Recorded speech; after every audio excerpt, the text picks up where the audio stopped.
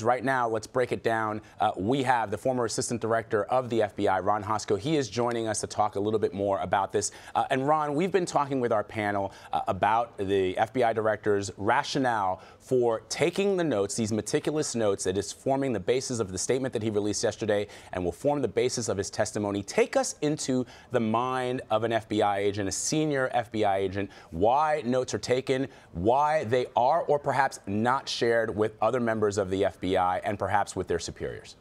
Well, good morning, Vlad. Uh, first, it's common for FBI leaders and other leaders in government to take notes. I did it routinely. I had a ledger book that I took to uh, high level meetings.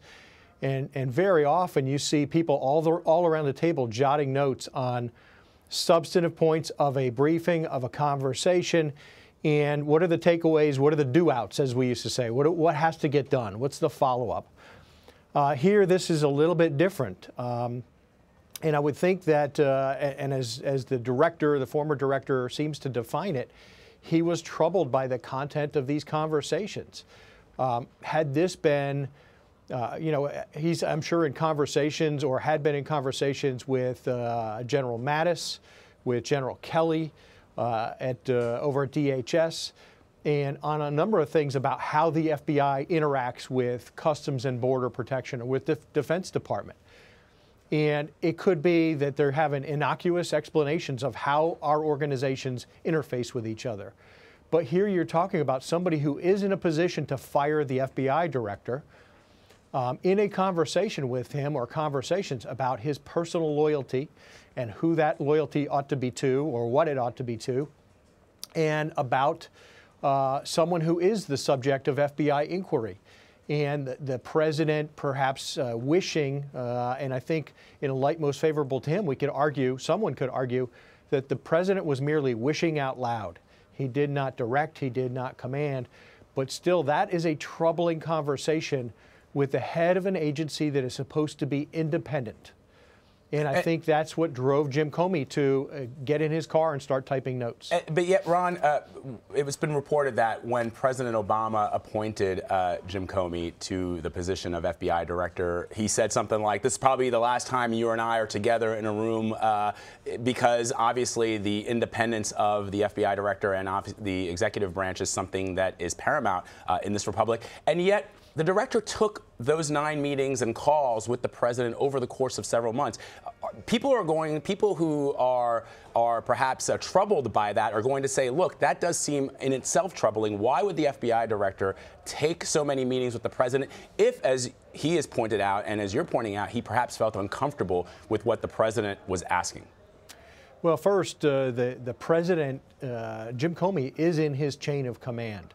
So seldom are you given a you know great opportunity to say no i don't think i'm going to go over to the white house today.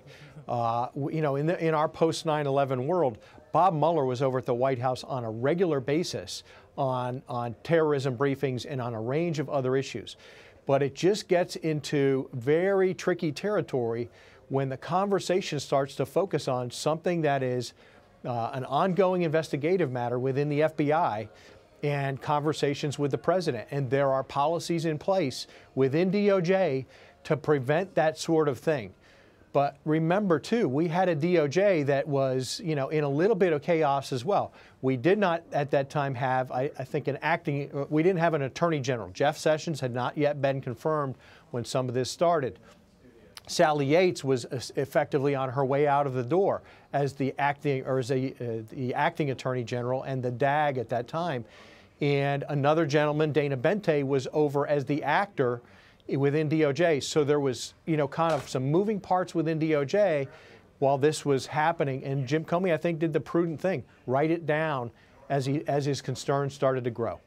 All right, uh, Ron, stand by. Uh, I want to get some final thoughts uh, from our political panel here and our reporters. Uh, so, Caitlin, what are you going to be looking for as we await the moment that Jim Comey takes to that stand? What questions remain unanswered for you?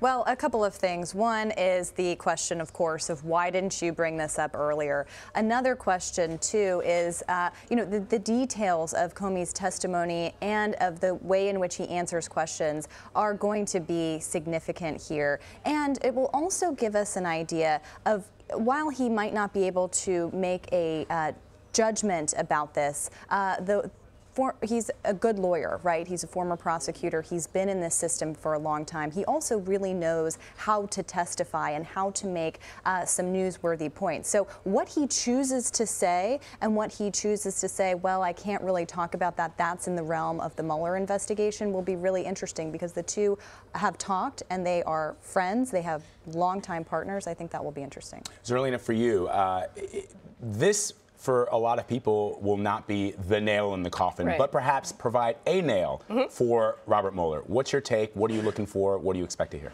I, I think a lot of folks are, are looking um, to Comey's testimony uh, to, to rebut um, some of the talking points we can uh, expect from Republicans today. You know, the RNC um, talking points leaked last night um, to reporters, and I think that, you know, putting his testimony out yesterday in paper form, essentially to preview uh, what he's going to say to hopefully help the senators ask ask some more relevant questions um, and not overly politicize today's hearing, but also making sure to address um, and, and sort of get a heads up on what to expect in terms of uh, the counterattack so he can address everything and, and I think leave the American people with a full understanding of what took place. On the flip side, Leslie, there are a lot of people who are going to say, uh, look, uh, the president has been vindicated. Uh, he was not himself the target of the investigation. Uh, Jim Comey has inserted himself into the political process one too many times. There are lawmakers on both sides of the aisle who were unhappy with uh, the decisions that he made with regards to the election.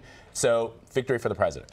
Uh, I would say it's going to be the tale of two testimonies. You have both um, kind of your diehard, uh, true Trump loyalists who are going to argue those points exactly that were that were leaked. You know, this, there's no evidence of collusion between you know, Russia and the president's uh, campaign.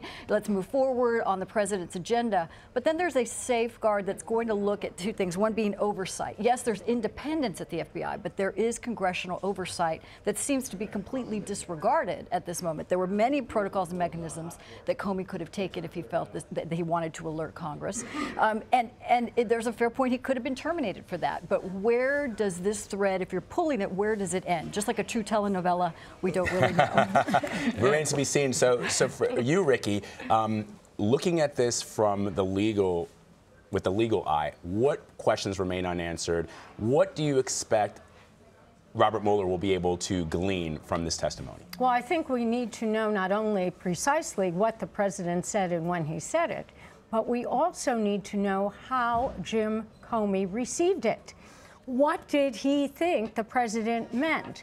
And as a result of any statement that the president made, what did Jim Comey do or not do? So, this is what building a case is all about. Another sidelight to this, which is perhaps beyond my legal expertise, but it certainly is involved in when I think about reputations of lawyers in the law. This is a possibility of the day of the rehabilitation of James Comey's reputation. This is his opportunity. We'll see how it plays out. Uh, do we still have Ron Hosko with us, real quick? Ron, we've got about two minutes left. Uh, I just want to ask you the president announced via Twitter yesterday uh, who he intends to nominate as the next director of the FBI, a lawyer who doesn't really have a lot of national uh, security experience, Christopher Wray. Um, doesn't know a lot of the rank and file FBI agents. What's your take? Do you think that he will be able to raise the morale, which what we understand right now at the FBI is uh, not at its best? Uh, I'm cautiously optimistic about this nomination. Uh, by, in looking at his bio, he has significant, complex uh, investigative and uh, prosecutive experience on, on complex financial crimes, on public corruption matters. Uh, and so I think someone with his depth and his prior relationships with the FBI, uh, which, I, which I've been personally told have been very positive, um, both in Washington, D.C. and as a prosecutor down in Atlanta, um, I think he'll he'll be warmly embraced by the by the workforce there, who will you know very much be in a wait and see mode. They want to see what they get as an FBI director. It's a big job. It's going to take a lot of energy and a lot of focus, um, particularly to pull the FBI back out of this spotlight that most do not want to be in at the very least, uh, it may be something that both Republicans and Democrats can agree on. Somebody who comes from outside of the political world, uh, does not have a lot of baggage. Uh, we'll be watching for that very, very soon. Uh, Ron Hosko, former Assistant Director of the FBI, we thank you so much for your analysis. As always, I want to thank the rest of our panel. Uh, Caitlin Huey Burns, thank you. Rikki Klieman, Zerlina Maxwell, Leslie Sanchez,